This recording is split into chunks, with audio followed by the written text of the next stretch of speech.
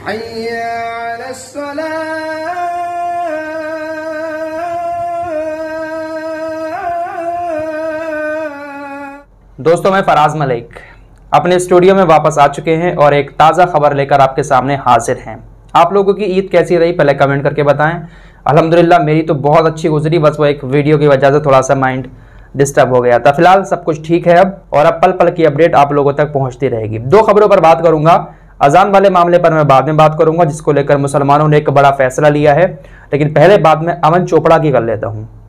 गोदी मीडिया का सबसे बड़ा anchor Aman Chopra. News 18 India पर यह काम करता है, आपने देखा ही होगा। अब इसके ऊपर गिरफ्तारी की तलवार लटक रही है और ये छुपता हुआ फिर रहा है। ट्विटर पर हैशटैग भी ट्रेंड हो रहा है, अमन चोपड़ा हाजिर हूँ। आपको याद होगा, जहांगीरपुरी के अंदर जब हिंसा हुई थी तो उसके बाद राजस्थान के अंदर एक खबर आई कि वहाँ पर 300 साल पुराने मंदिर को कांग्रेस की सरकार ने गिरा दिया। आरोप कांग्रेस की सरकार पर लगे, लेकिन कांग्रेस की सरकार ने कहा कि भैया, ये हमने नहीं गिराया है। जिनने ये गिराया है, नगर निगम वालों ने, ये जो है, बीजेपी का वहाँ पर सब कुछ है। बीजेपी वालों ने इसको गिराया है, लेकिन अमन चोपड़ा ने एक इतना बड़ा नफरती और जहर फैलाने वाला शो किया था। इसने अपने शो में कहा था कि ये जो मंदिर तोड़ा गया है, ये जहांगीरपुरी के अंदर जो मस्जिद की दीवार तोड़ी गई है, उसका बदला लिया है कांग्रेस ने। जहांगीरपुरी की मस्जिद का बदला कांग्रेस ने मंदिर तोड़कर राजस्थान के अंदर लिया है। जबकि खबर यह आ रही थी कि जो जहांगीरपुरी के अंदर अतिक्रमण हटाया गया था, उससे दो दिन पहले ही मंदिर के ऊपर बुलडोजर चल चुका था। लेकिन इसने इतना ज़्यादा जहर परोसा था उस शो में, उसके बाद छोटी सी क्लिप इसने ट्विटर पर भी डाली थी, लेकिन वो ट्वीट बाद में इसने डिलीट कर दिया, लेकिन इसकी वो क्लिप डाउनलोड कर ली थी लोगों ने। अब इसके ऊपर एफआईआर हो चुकी है राजस्थान के अंदर, और राजस्थान की पुलिस को अब दिल्ली और नोएडा में ढूंढ रही है, लेकिन यह गायब है। दो और तीन तारीख को ये जो शो लेकर आता है, उस शो से भी ये गायब था। न्यूज़ लॉन्ड्री की रिपोर्ट आपके सामने है। राजस्थान पुलिस पहुँची, न्यूज़ 18 इंडिया के दफ्तर। पाँच मई तक पेश हो अमन चोपड़ा। पाँच मई तक का वक्त दिया था राजस्थान की पुलिस ने और आज पाँच मई है और हैशटैग भी ट्रेंड हो रहा है। अमन चोपड़ा हाजिर हूँ। अब देखिए इसके ऊपर कौन कौन सी धाराओं में केस दर्ज हुआ है।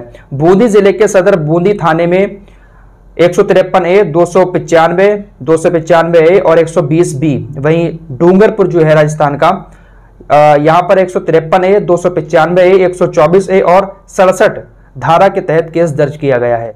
इस रिपोर्ट के मुताबिक राजस्थान की पुलिस नोएडा और दिल्ली में अमन चोपड़ा को ढूंढ रही है, लेकिन अमन चोपड़ा गायब है। ट्विटर पर ट्रेंड हो रहा है, अमन चोपड़ा हाजिर हो। फ़िलहाल पाँच तारीख तक का वक्त दिया था, अब देखते हैं कि हाजिर होता है या नहीं होता है। दूसरी खबर महाराष्ट्र से आ रही है। महाराष्ट्र के अंदर लगातार लाउडस्पीकर वाला विवाद अभी भी बना हुआ है। पुलिस राज ठाकरे की पार्टी के कार्यकर्ताओं को थोड़ा बहुत उठा भी रही है, उनके ऊपर एक्शन भी ले रही है। लेकिन बड़ी खबर यह आ रही है कि मुंबई की 26 मस्जिदों के धर्म गुरुओं ने यह फैसला किया है कि वो फजर की अजान बिना लाउड स्पीकर के देंगे। और आज बिना लाउड स्पीकर के अजान हुई भी। फजर की अजान बिना लाउड स्पीकर की हुई, जो 26 बड़ी मस्जिदें हैं, उनके धर्म गुरुओं ने यह फैसला किया है कि सुप्रीम कोर्ट का जो ऑर्डर है, रात 10 बजे से सुबह 6 बजे तक लाउड स्पीकर का इस्तेमाल नहीं कर सकते।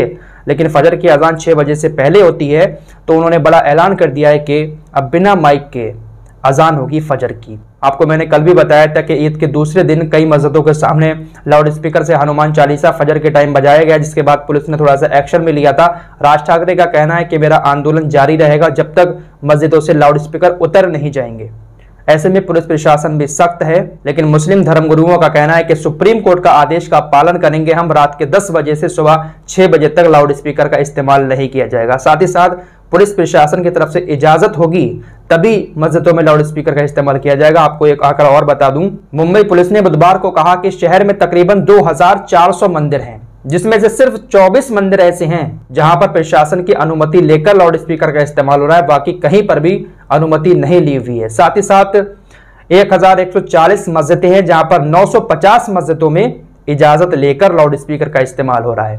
बाकी चर्च, गुरुद्वारे और जो यहूदियों का वहाँ पर जो कुछ भी है, इन धार्मिक स्थलों में प्रशासन से इजाज़त ली है लाउड स्पीकर का इस्तेमाल किया नहीं ली है, इसका आंकड़ा मुंबई पुलिस जुटाने में लगी हुई है। लेकिन मस्जिदों में इजाज़त लेकर ही अजान हो रही है, तकरीबन 1140 में से 950 मस्जिदों में लाउड स्पीकर का इस्तेमाल इजाज़त लेकर हो रहा है। लेकिन मुंबई के अंदर 24 बड़ी मस्जिदें ऐसी हैं जहाँ पर धर्म गुरुओं ने यह फैसला किया है कि फजर की अजान हम बिना लाउड स्पीकर का देंगे। जो सुप्रीम कोर्ट का आदेश है ना, उसका हम पूरी तरीके से पालन करेंगे। फ़िलहाल इस रिपोर्ट में इतना ही। पल पल की अपडेट आप लोगों को अब मिलती रहेगी। मिलते हैं शाम को एक और नई वीडियो के साथ। तब तक के लिए अपना ख्याल रखें।